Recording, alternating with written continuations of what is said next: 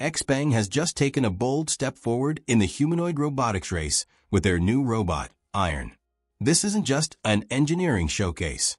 This is a humanoid designed to fit directly into human spaces and interact naturally. During the latest AI Day, Iron walked onto the stage with a movement style that immediately stood out. No rigid stepping, no mechanical twitching. The motion was balanced, rhythmic, and confidently human. For the first time, you could look at a robot walking and think, yeah, that looks normal. Now, the design choice here is intentional. Iron features a female humanoid form, created for environments where approachability and presence matter.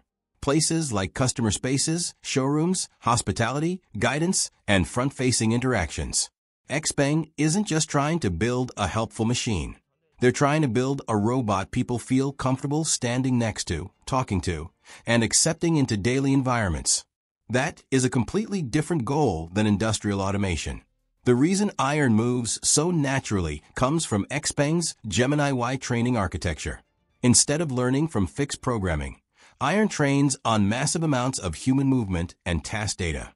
It understands posture, balance, spatial awareness, and how to adjust its gait in real time. That's why the walk doesn't look rehearsed. It looks alive.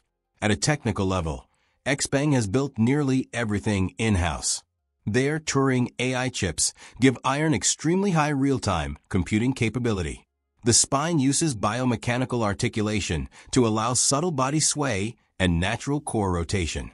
The actuators behave like muscle fibers, allowing controlled strength instead of jerky force. And the hands? Each finger moves independently for precise grip, rotation, and delicate interaction. This is the direction XPeng is aiming at. Not robots that just work around us, but robots that can coexist with us. So while other companies target factories and warehouses, XPeng is targeting human environments first. If development continues at this pace, Iron might become one of the first humanoid robots people meet face-to-face in public, not behind a lab door, but in everyday life. XPeng isn't just building a robot.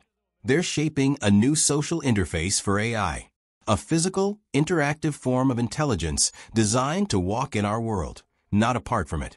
This is where humanoids transition from concept to everyday reality. If you found this update interesting, make sure to subscribe to stay ahead of the breakthroughs.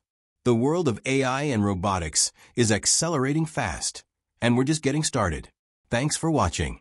See you in the next one.